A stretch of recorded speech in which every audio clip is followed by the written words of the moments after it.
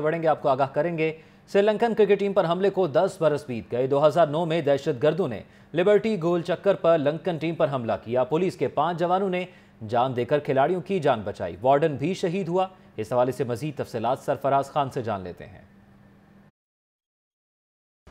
جی بالکل نو مارچ دو ہزار تین، ملکی تاریخ کا سیاہ ترین دن جو ہے وہ منایا جاتا ہے۔ آج دس برس بیت گئے۔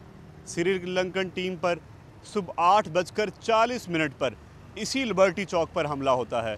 اسی نتیجے میں ہمارے جوان شہید ہوتے ہیں، چھ کھلاڑی زخمی ہو جاتے ہیں، لیکن ہمارے جوانوں کی جانب سے کھلاڑیوں کو یہاں سے سیف جگہ پر منتقل کر دیا جاتا ہے۔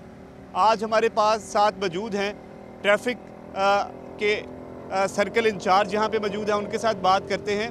جب یہ ٹیم کو لے کے، سری لنکا کی ٹیم کو لے کے یہ لبرٹی راؤنڈ بورڈ کے اوپر پہنچے تو دہشت گردوں نے حملہ کر دیا، جس کے نتیجے میں ہمارے سات جوان جو ہیں وہ شہید ہوئے۔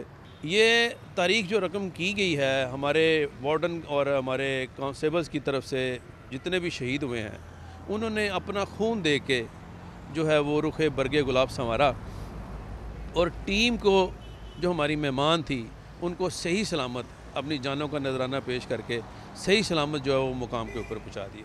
تو ان کا کہنا تھا کہ دکھ تو ان کو آج بھی ہے اس بات کا لیکن خوشی اس بات کی ہے کہ ہمارے جوانوں نے اپنے سینوں پہ گولیاں کھا کر یہ سری لنکن کی ٹیم کو باحفاظت ان کی جگہ پر منتقل کیا تھا۔ جی۔ شکریہ آپ کا سرفراز۔